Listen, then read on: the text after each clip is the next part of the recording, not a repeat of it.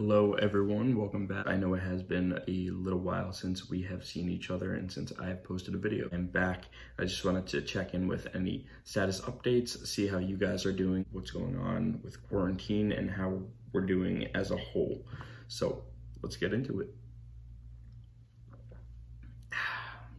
Hope everyone is healthy and well with isolation not necessarily coming to an end, but it does seem like it is getting a little better. When you're inside so long, it almost feels like you become out of touch with the world, the news, everything that's going on. But then again, you try to stay educated, if you know what's what going I mean. on with me. I am in a similar predicament. I am at home. My girlfriend is an essential worker as a nurse. I got lucky. She's doing an amazing job along with her coworkers, respect and um, you know, my best shout out to all the essential workers, first responders who are doing all they can to make sure that this virus does not increase and get worse. Um, so it seems like they are doing a better job on that end. With me, once again, I am home. I am not working remotely like many others. I'm kind of just hanging out, waiting for everything to blow over, see what goes on from there. I do have to admit, with it in the past couple weeks, I have had a little bit of a fall off mentally. But when it gets lonely, you get tired or almost, you know, you get nervous that there's not much more to do. And that's the state that I've hit.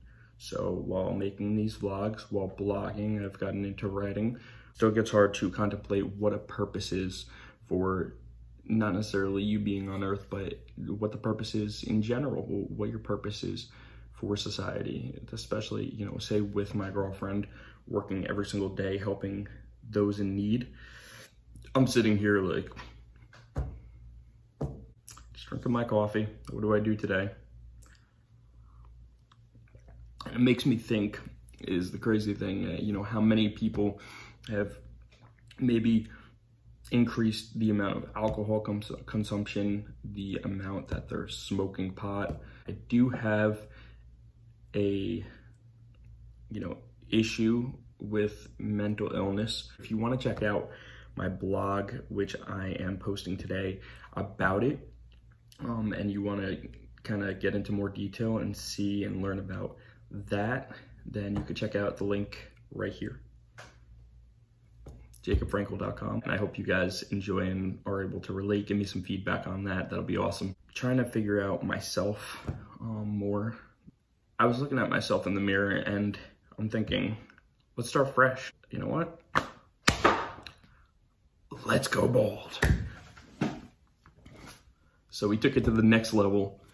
I am practically bald. I've never gone this short before. A lot of mixed opinions. But when I said we were trying to grasp onto that purpose, some of us, made me feel like, hey, you know what? I don't care what people think about me. I want to focus on me, what I can do to better myself. So let me start fresh. Let me come to a new beginning. And although many people know me for my hairstyle, my whoosh, as I would call it, right in the front, I don't need a whoosh. I could wake up every single morning and have more time to focus on what I need to focus on without getting out of the shower, doing my hair. I know it sounds like a small task, but it does make a difference. We should all go bald to see. That's up to you. Personal decision. No regrets you know, I'm happy to have done it and we'll see where it goes. Change your mindset, change your perspective, and make sure that you're thinking productively, creatively, and we'll all be out of this soon. We will prevail from the COVID-19 pandemic. Stay inside, make sure it doesn't spread, and I'll see you all on the flip side. Bye, guys.